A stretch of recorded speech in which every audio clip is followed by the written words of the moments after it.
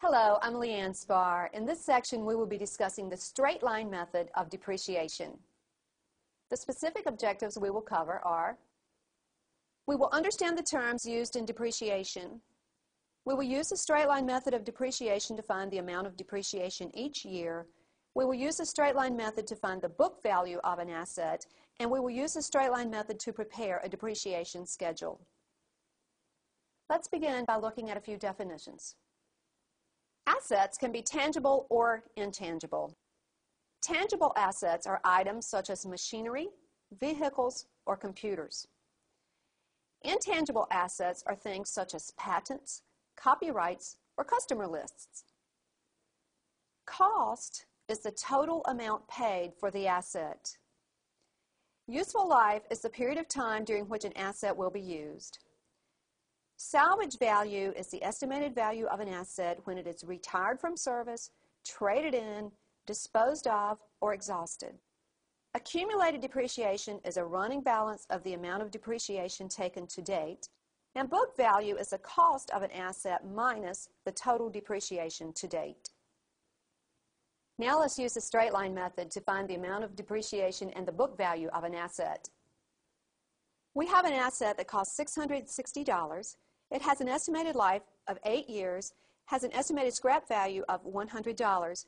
We're going to find the annual depreciation and we're going to find the book value at the end of five years. Depreciation is the depreciable amount divided by years of life. And the depreciable amount is the cost minus the scrap value. So our depreciable amount here will be $660 subtract the scrap value, $100, so our depreciable amount will be $560. So our annual depreciation will be $560, which is the depreciable amount, divided by the years of life, which is eight years. So the annual depreciation here will be $70. We want to find the book value at the end of five years. So for five years depreciation, we will have $70 times 5, which is $350.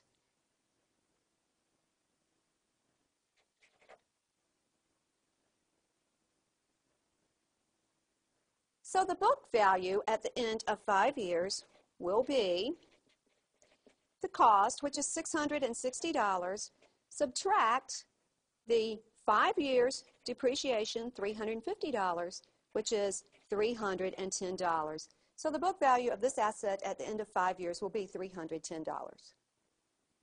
Now let's use the straight line method to prepare a depreciation schedule. Savannah Pipe has purchased a laboratory crusher costing $18,000, having an estimated life of four years and a salvage value of $1,600. Prepare a depreciation schedule using the straight line method of depreciation. The depreciable amount will be $18,000 subtract 1600 or $16,400. So the annual depreciation will be $16,400 divided by 4, which is $4,100, or 25% of $16,400. Now let's prepare the depreciation schedule. In year zero, the book value is $18,000.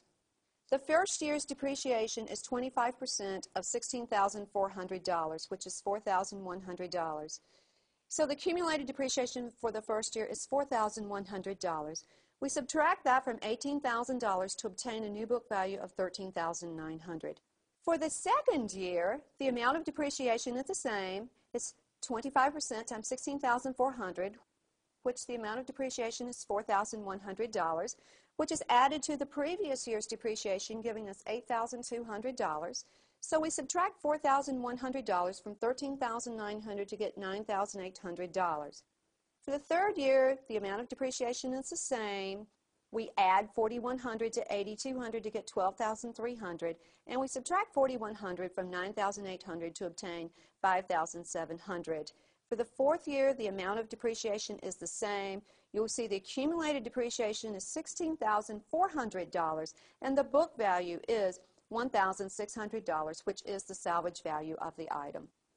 Let's remember when we're doing a depreciation schedule that the book value of an asset at the end of each year is always the original cost minus the accumulated depreciation.